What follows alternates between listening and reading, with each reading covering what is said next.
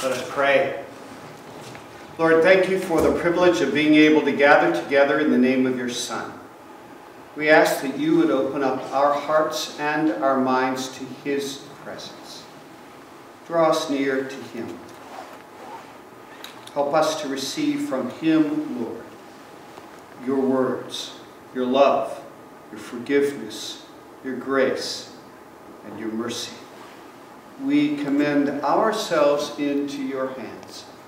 And we say, Speak to us, Lord. Your servants are listening. For it is in the name of Jesus Christ our Lord that we pray. Amen. Amen. Please be seated.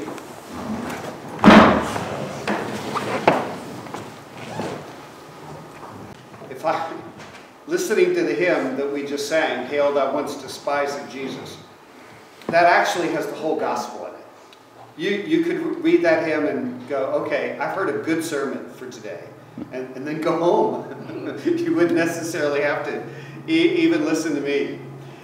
Because what the, what the hymn offers in very, very clear, declarative language, this is what God has done. Therefore, we praise him. Hail once despised Jesus, is the essence of what makes us what we in fact believe. The story goes like this, and it, it starts right in the Jeremiah prophecy at the very beginning of the Old Testament lesson, where in the midst of a nation that has absolutely been besieged by its enemies, everything that could have gone wrong could had has gone wrong, including Jeremiah, prophet, somebody they've literally arrested because they don't want to hear the word from God, from him, and thrown him into a pit, like we don't want to hear from you anymore. Out of that incredibly dire situation, God speaks a word of hope through the prophet Jeremiah, saying, Here's what's coming. It's not here yet. But the day is coming where I will take this very, very stubborn people and I'm going to change the very nature of their heart. No longer will they have this hardened heart of stone, but instead I'm going to give them a tender heart. And I'm not just going to give them a tender heart, I'm going to literally write my law in their hearts so that they just naturally do the very thing that I ask of them. You see, uh, what had gotten Israel in trouble to begin with was the fact that God had laid out a very clear law. They had said, well, that's, a, that's not for me. And in the face of their rejection of the law of God, judgment had come. Marauding armies, occupational forces literally taken over the land, the land desolated and destroyed. Jeremiah continues to say, if you'll repent and come back, all of this is going to stop. They would not listen, eventually arrested Jeremiah. And, and God, in essence, knows something has to change. In other words, that rebellious capacity that is within the human heart has to change if things are going to be right. And it is out of that dilemma that God says, I'm going to change their hearts. I'll do it. They can't do this for themselves. I will do it. I will give them notice. They don't earn it. I will give them a new heart. And I will, in that new heart, write down the very things that are good and true, so that they will intuitively know inside what is, in fact, the right thing to do. They will, as a result, and here's the capstone, they will know the Lord.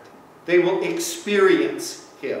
Knowledge meaning not just a cerebral comprehension, but there will be, God's Spirit will literally be in them. They will be in an intimate relationship with God.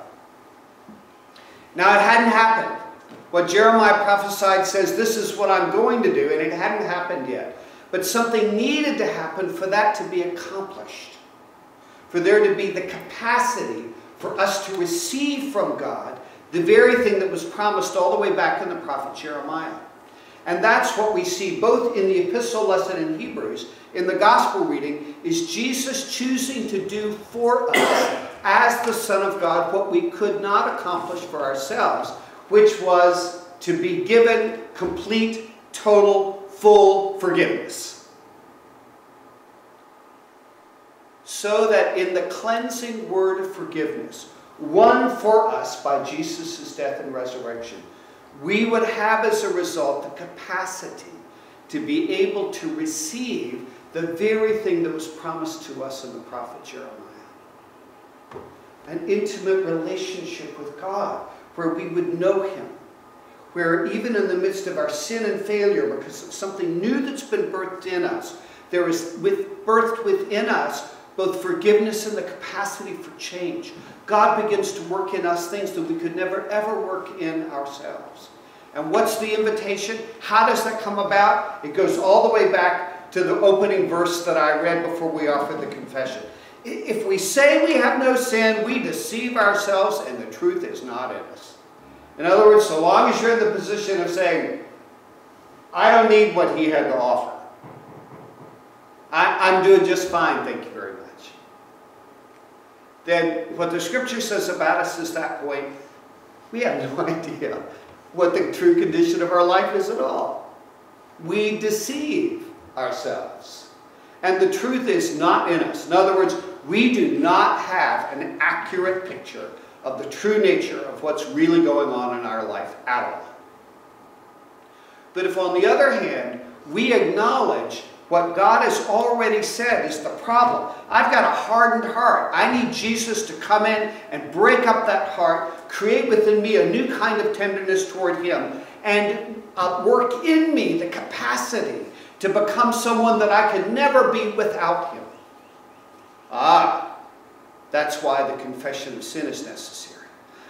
I need to come and lay all of who I am before God Himself, knowing that what I most need, what I most need, is His forgiveness and His capacity to change me and to make me into someone that is new. That's what I need from God. If we confess our sins, God is faithful and just to do what? To forgive us our sins. In other words, you're forgiven. And to do something even more astonishing and to cleanse us from all unrighteousness. That's what is won for us by Jesus, who chooses to forgive, who chooses to die on our place. That's the Hebrews lesson. And it cost him. What did it say he went through? He suffered loud cries and grief. In other words, when Jesus chose to die on the cross for us, it was not some, okay, I'll go do this. He wrestled with it as a human being. He knew what the price really was going to be, and it was high. Not just in terms of physical agony, as excruciating as the cross is, but more importantly than that, he who had always been in union with God, now experiencing what humanity knew, which was separation. So that he cries out even from the cross, My God, why have you forsaken me? That's the cry of plenty of human beings who have not known or do not know the presence of God in their life. They feel abandoned, right, by God. Jesus knew that firsthand. In other words, he literally takes upon himself all of the suffering of humanity. And how, why does he do that? So that he can come into the very depths of our suffering and bring forgiveness, cleansing, healing, his mercy, and his peace. And in so bringing us that, invites us into a new kind of life. That's where the gospel takes us. An ability to be able to walk with Him, to have a different focus and orientation, to say, God, I'm here out of all that you've done for me. What can I do for you? I will serve you. I will serve you. Whoever serves me must follow me, and where I am, there will my servant be. And whoever serves me, my Father will honor. Those are Jesus' words in the gospel. So that we come to receive forgiveness and mercy, not just to go back and do whatever we want to do. No, it's a, the very act of confession is also an act of dedication. Can't have one without the other, actually. Where you literally come and say, God, I'm not only asking for forgiveness and a changed heart, but align me with you. So that wherever I am, Know I'm operating in your presence. And it gets down to real practicals. It means waking up in the morning and saying, okay, God, I want to be a part of what it is that you're doing today. I don't know what you're doing, but I'd like to be a part of it. Give me opportunities to be able to serve you.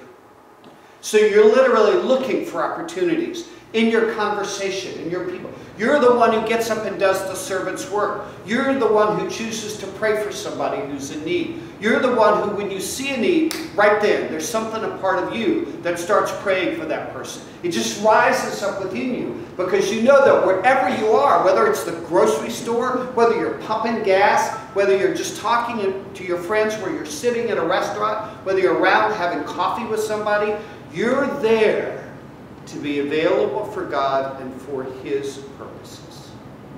And that's really why you're there. You're not just there to see your friend. You're not just there to buy groceries. You're not just there to fill your tank. You're there to say, even in the midst of that, and you will be surprised at what happens. You're paying your gas with your credit card, and you need to run inside and get something. And so you're up at the counter and you go, how are you? Most people in that position don't get asked that question.